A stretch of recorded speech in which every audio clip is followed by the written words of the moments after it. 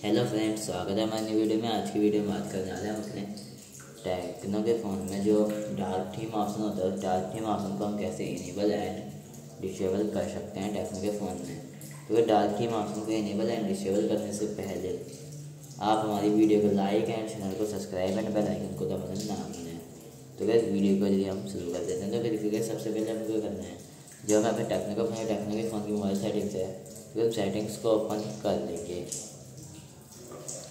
फिर सेटिंग्स को ओपन करने के बाद इसके छः सौ इंटरफेस आपको कुछ शो होता होगा। तो वैसे हमको सिंपली क्या करना है? यहाँ पर आपको शो होता होगा। नीचे स्क्रॉल करना है। स्क्रॉल करने के बाद यहाँ पर आपको शो होता होगा डार्क थीम सॉरी का dark theme display and brightness option तो सिंपली इस पर हम क्लिक कर देंगे। क्लिक करने के बाद ये यहाँ पर आपको डार्क थीम का ऑप्शन सिंपली शो हो जाएगा। तो कैसे हम डार्क थीम वाले ऑप्शन पर क्लिक करेंगे। डार्क थीम वाले ऑप्शन पर क्लिक करने के बाद यहाँ पर आपको सिंपली डार्क थीम ऑप्शन को इनेबल करने के लिए क्या करना होगा? सिंपली अगर आपको क्लिक करना है क्लिक करने के बाद डार्क थीम ऑप्शन होगा इनेबल हो जाएगा। और कैसे जैसे आपको डिसेबल करना है तो डिसेबल करने के लिए इस पर हम क्लिक कर देंगे। तो जो हमारा डार्क थीम ऑप्शन है, वो डिसेबल भी हो जाएगा। और कैसे अगर इसको आपको शेड्यूल करना है तो शेड्यूल करने के लिए क्या करना हो? शेड्यूल करने के लिए क्या सिंपली यहाँ पे हम क्लिक करेंगे। क्लिक करने के बाद यहाँ पे जैसे नॉन पर हो रखा है तो इसको हमें सिंपली क्या करना है?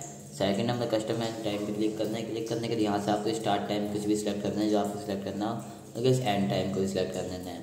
तो इस तरीके से हमने डार्क टाइम ऑप्शन को enable and disable and schedule कर सकते हैं अपने टेक्नो के फ़ोन में। तो वैसे यहीं हमारी वीडियो समाप्त होती है। तो कैसे आई होप कि आपको हमारी वीडियो पसंद आए। तो वीडियो को लाइक एंड चैनल को सब्सक्राइब एंड बेल आइकन को दबाना ना भूलें। तो कैसे मिलते हैं अगली वीडियो में। तब तक के लिए बहुत बहुत धन्यवाद और बहुत बहुत थैंक यू